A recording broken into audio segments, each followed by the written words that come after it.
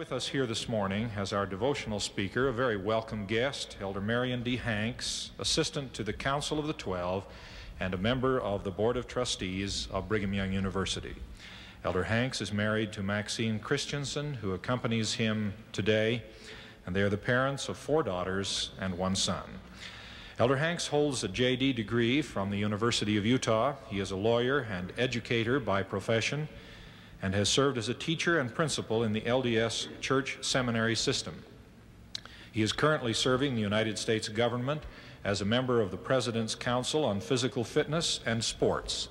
He has been a speaker and consultant at youth conferences throughout the United States and in foreign countries, and has been honored many times for his leadership of youth, including his receipt of the Boy Scouts of America Silver Beaver and Silver Antelope Awards for his leadership in that area. Elder Hanks served a two-year mission for the church in the northern United States. He's a former member of the First Council of 70. He spent a number of years in the leadership of the Temple Square Mission, and he and his family spent several years in England and Europe, where he served as a mission president. He was appointed to his present church position as an assistant to the 12 in 1968. Elder Hanks is widely and justly known for his ability to communicate with the youth of the church, for his stalwart defense of the principles of right, and for his effectiveness as a leader and spokesman for the church. It's a pleasure to welcome him to this podium today, Elder Marion D. Hanks.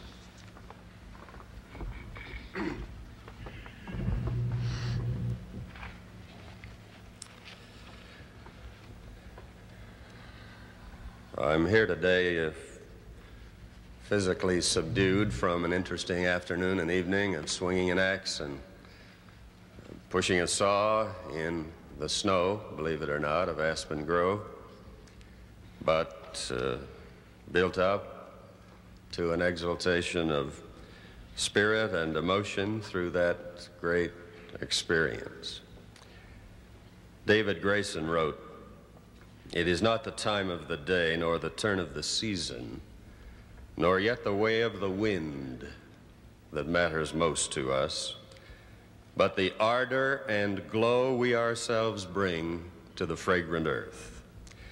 It is a sad thing to reflect that in a world so overflowing with goodness of smell, of fine sights and sweet sounds, we pass by hastily and take so little of them Days pass when we see no beautiful sight, hear no sweet sound, smell no memorable odor, when we exchange no single word of deeper understanding with a friend. We have lived a day and added nothing to our lives. On our way to and from Aspen Grove, we passed hunters, all of them driving slowly and looking forlornly at the hillsides. And I wasn't a bit sorry to see them looking forlornly, personally.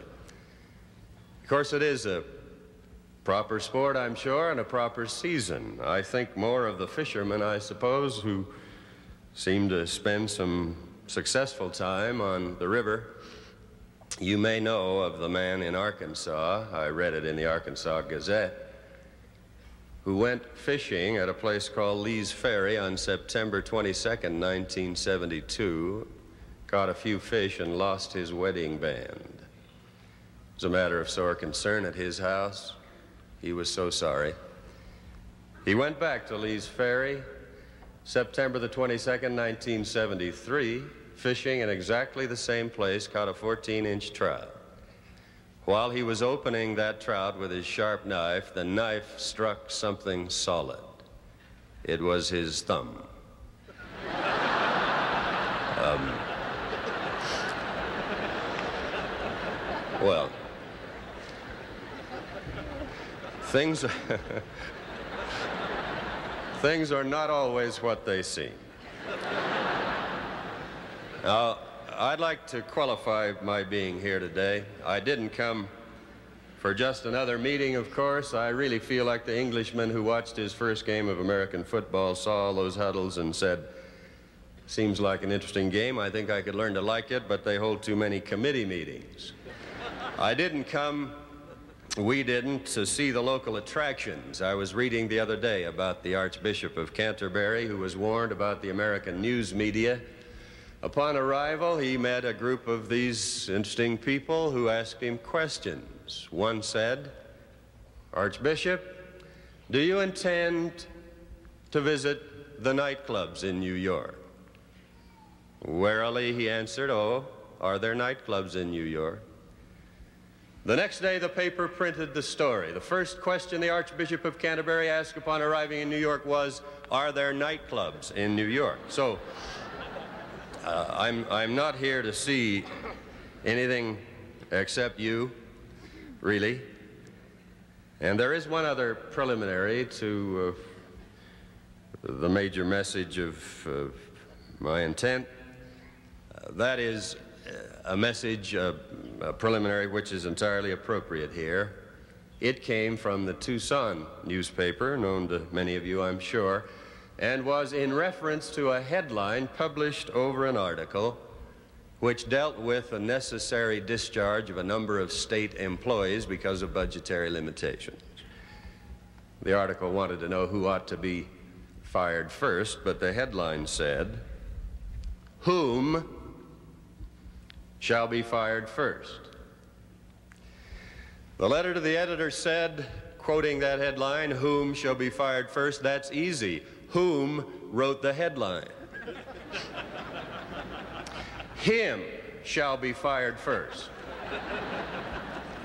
him doesn't know enough about English grammar to hold the job him has. Well, I didn't, I didn't come to teach much that's new either, and I'll therefore tell you why I'm here. I came because I like to come, and so accepted the invitation. I like to get the feel of this place, Someone has written, New leaves do not come because old leaves are falling. Old leaves fall because new leaves are coming. You are the new leaves. We look with optimism to your coming, but bid you remember with Charlie Brown that there is no heavier burden than great potential.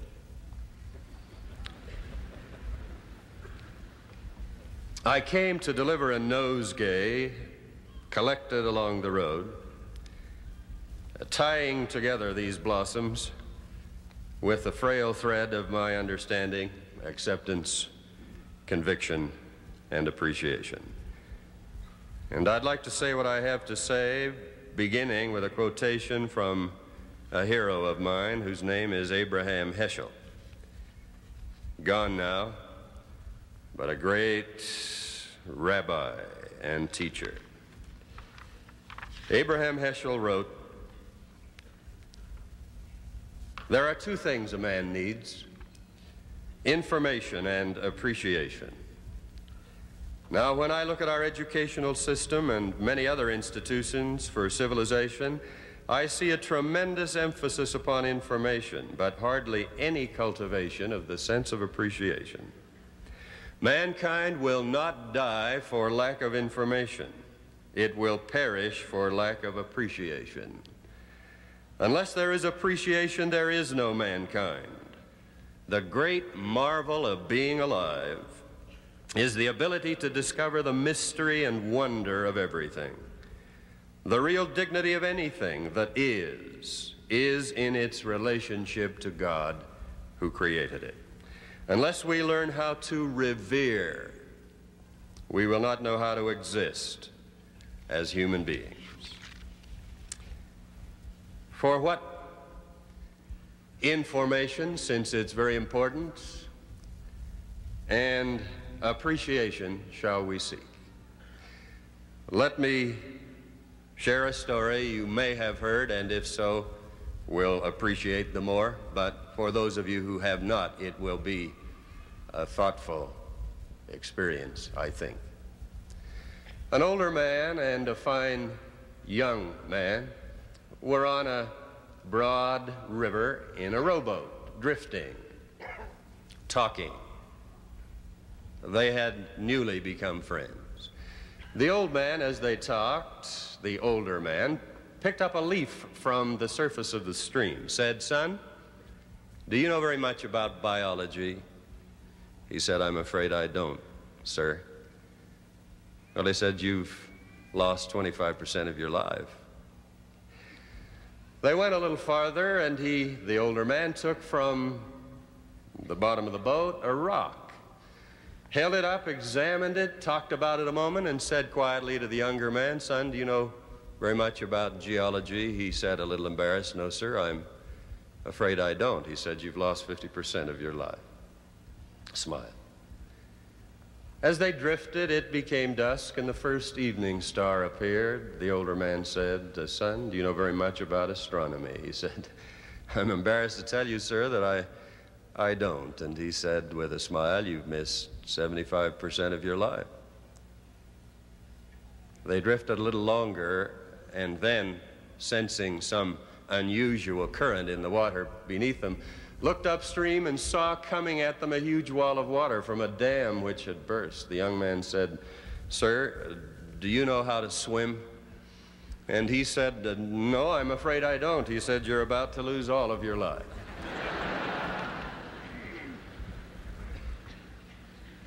A leaf, a rock, a star, swimming, biology, geology, astronomy, yes. Yes and swimming too. It's wonderful.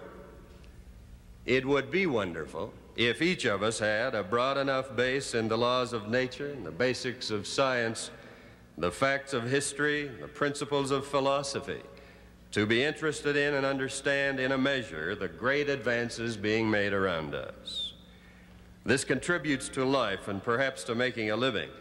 But more important than any of them, central to all of them, giving them all meaning and coherence, is information and appreciation of man himself, of his relationship with others, with God, uh, of his understanding of origins and heritage, possibilities, responsibilities, and an everlasting future. Let me look at two or three matters of appreciation selected out of a multitude I've been turning over in my mind the last few hours. Appreciate life. Grayson's comment about ardor is complemented for me by something I heard from two wonderful psychologists, a husband and wife team, teaching a group of adults a long time ago. Out of all that they said, much of which I remember, one thought is foremost in my mind. Nor heaven nor hell can him surprise who loves his home and loves the rain and looks on life with quiet eyes. You may have heard the last interview recorded with Dr. Tom Dooley before he died of leukemia after having given the young years of his medical career when he could have been in social circles making a lot of money to the people of Indochina, the great nation divided into many nations whose names we're familiar with. These are the two or three sentences that constituted the valedictory of sorts of Tom Dooley. Said the questioner, Dr. Dooley, you are living on borrowed time, yet your contributions to humanity seem to take no account of the trials you personally are called upon to bear. Yes, he said, and this was replayed the day he died. I am living on borrowed time. So are you. So is every man who walks this earth. I may live to be as old as you are now, sir. I may not live to see my next birthday. This does not matter. What really counts is what I do in terms of human good with the days, the weeks, the months, or the years the Creator has allotted me. Appreciate life. appreciate others, and be respectful of their values. I was called on to speak at a public, or to pray at a public gathering a time ago and found myself without premeditation thanking God for the qualities of gentility and civility and tenderness which permit people of diverse points of view and diverse ways of living yet to be together in an atmosphere of courtesy and graciousness. I've thought about that since. I think the Lord blessed me to say that. It certainly was consonant with how I feel and what my life would like to represent, or I would like it to represent. Do you remember the words of the great apostle who encouraged all of us to honor the brotherhood and honor the king and honor all men. In this other book, we read, the prophet, under the inspiration of God, preceding some marvelous words we know very well, beginning with, Let virtue garnish thy thoughts, preceding those words with the admonition that we are filled, that we be filled with love for the brotherhood, which is appropriate, and all mankind. The message is repeated again and again. I wonder if we always are sensitive to it. Do you know the story of Mike Gold? I confess I didn't until a year or so ago. Mike Gold, as I hear of it, was a communist in his early life in depression or soon after times. He grew up in a ghetto, not knowing it. As a little boy, he was circumscribed by four streets beyond which he could not go. He didn't understand what that meant. He found out, or began to one day, when, as just a little fellow going to school, he was accosted by a group of boys. Hey, kid, they said, you a kike? He said, I don't know. He'd never heard the word. They said, where do you live? He told them. They said, ah, you are a kike. Well, you're in Christian territory, buddy. You're a kike, and you killed Jesus. We're going to show you how we feel about that. So they beat him up. He went home, bruised and bleeding and bewildered. His mother took him in her arms kissed and cleansed him and said, Mikey, what happened? He said, I don't know. She said, Who did this to you, Mike? He said, I don't know. Years later, when he had now come to write his book and tell the story, he recalled how sitting on her lap he had looked up into her face and said, Mama, who was Jesus Christ?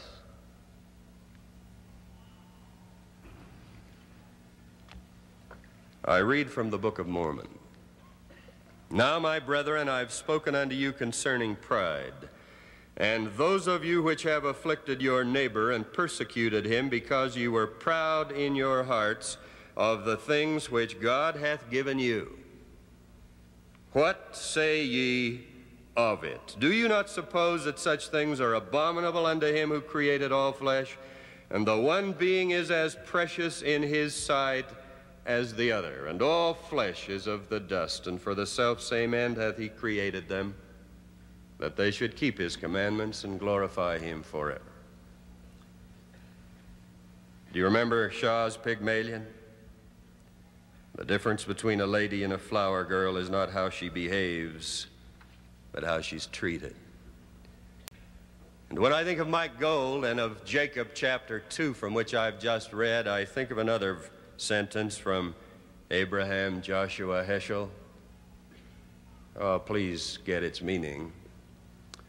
Holocausts, he said, are caused not only by atomic explosions, holocausts are caused whenever a person is put to shame.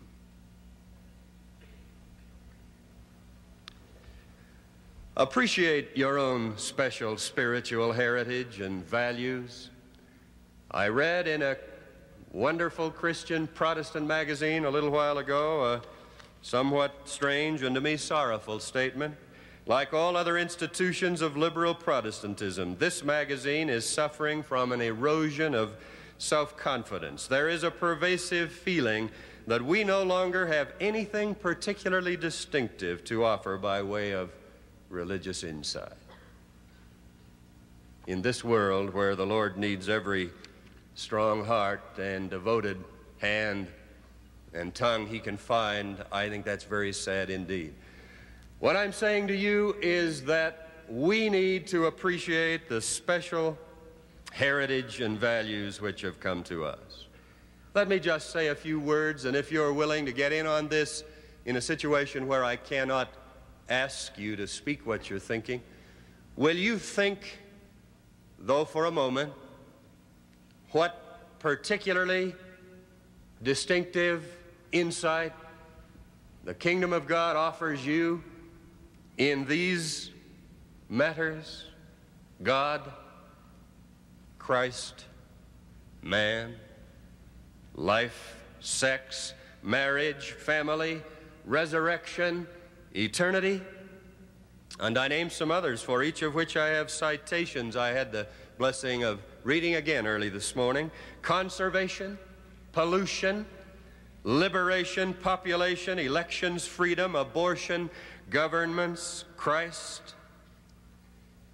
In these and a multitude of very important principles and programs and doctrines, matters, there are distinctive, special insights. But just knowing that or hearing it doesn't really suffice, does it? We must learn them and learn to act on them and become converted to them, really. I wish there were enough time to tell you all the details of a conversation I once had with a young lady, a lovely person who was professionally qualified in an important specialty. I would not want you to know those details. So I simply tell you a headline. She was about to make a decision which would influence her and her generations. Came into my office reluctantly because both she and I love her parents. She not really interested in anything I had to say and acknowledging that. She acknowledged it openly when I asked her. We had a little time, and so we talked. I said to her, When did you last do any serious reading about the church? She was leaving it behind. Oh, she said a bit blithely, in the ninth grade, we studied the Book of Mormon. I quit, though. I said, Did you also quit praying and going to church? She said, Yes. And pretty soon you stopped living the life? Yes. I said, I really just have another question to ask you. I think I've said about all I want to say. There is little virtue in pleading with you or trying to admonish or teach you with the attitude you now have. So I'd just like to ask you a question about something else. The church office building over there is about ready to be completed. All those many stories. Your specialty will be involved in its completion. I'd like to do what I could to get you the job to work on that great big building. Would you like that? And she, looking a little dubious, said, Well, I, well, sure. I said, All right, I think I can do it on one condition. You perform your professional specialty in that building on the basis of what you knew about it in the ninth grade. She looked a long time at the floor before the tear dropped, and she said, Oh, Brother Hanks, I'm in terrible trouble. Can you help me? To learn and then to act. I know a man, again, only a headline, but I'd like you to hear, who, as a bishop, won an award for his great skills and success in training teachers who worked in ghettos. When it was all over and he had his award, some of his fellow teachers who knew him and knew the quality of his character and the nature of his life and his attitude toward his fellow men uh, said, uh, We just don't get it. How can you, being a Mormon, do the kind of work you do? He said, You really don't get it, do you? I do the kind of work I do precisely because I am a Mormon. Well, much more I'd like to say, but I simply invite you to appreciate your own particular distinctive heritage and the religious insights which it offers. I have to add, I stood under an awning one day, low in spirit, soaked by the rain.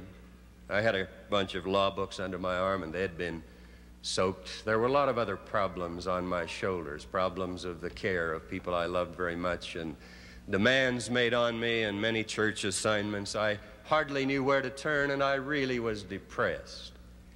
There were two others under the awning uh, whom I did not at first even notice, but I couldn't not hear them speaking to each other. One said, and she was very near the birth of a child, a beautiful person, to her friend, How are things going with you? She said, Just fine, but we can't find an apartment. Have you found one yet with a baby coming? Oh, said this beautiful pregnant girl, we've, we found one. She said, You did? How, how could you? We've looked and looked. Oh, she said, We did too. Bob and I looked and looked till we were exhausted, and then having done all we could, we fasted and prayed for a couple of days, and he went out and found a nice place. Oh, said the other. And I stood feeling ashamed, remembering some things I hadn't even thought of for a while. Appreciate the importance of being humble. Do you remember the wonderful line, Yea, Lord, I believe, help thou my unbelief? Do you remember the wonderful line about matters of greater consequence, weightier matters, the Lord called them, judgment, mercy, and faith. Do you remember the wonderful man who knew how to treat his neighbor, who knew how to love God and his fellow man? He wasn't a member of the kingdom. The Savior said to him, Thou art not far from the kingdom of God. There was something else he had to do, but he had the spirit and the meaning.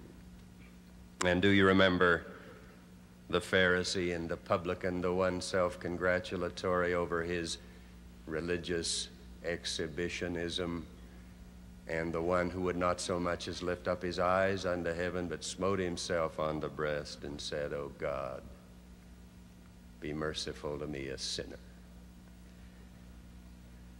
Out of literature a long time ago, I extracted a sentence I hope I can remember.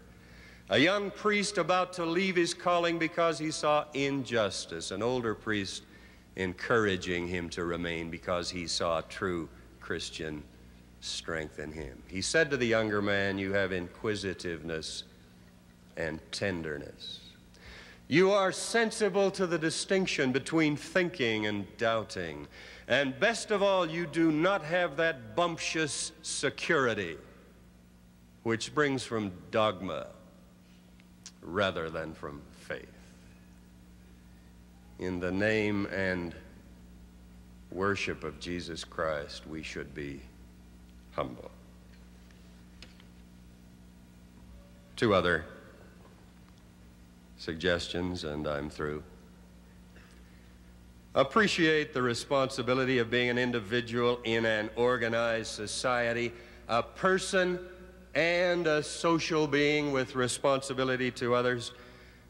Avoid, I pray you, that lone eagle complex that makes some people say it's my life and I'm going to live it. I'm going to do what I want to do in spite of what it does to anybody else, what effect it has on anyone else. Do you remember Niemöller's interesting bequeathment? He who got along for a long time with the Nazis and finally was imprisoned. These are his words. They came after the Jews and I was not a Jew, so I did not object. Then they came after the Catholics, and I was not a Catholic, so I did not object. Then they came after the trade unionists. I was not a trade unionist, so I did not object. And then they came after me. There was nobody left to object. 600 years before Christ asked at the end of a story well known to all of us, Which now of these three thinkest thou was neighbor unto him that fell among the thieves? 600 years or more before that, Jeremiah had asked, Is it nothing to you, all ye that pass by?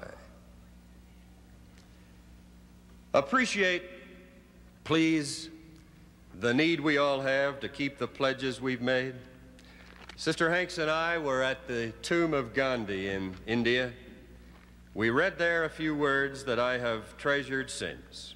Words about pledges, words that I have found mirrored in these books and my own covenants and the memory of them, reflected in the little piece of bread and the cup of water we take on a Sabbath.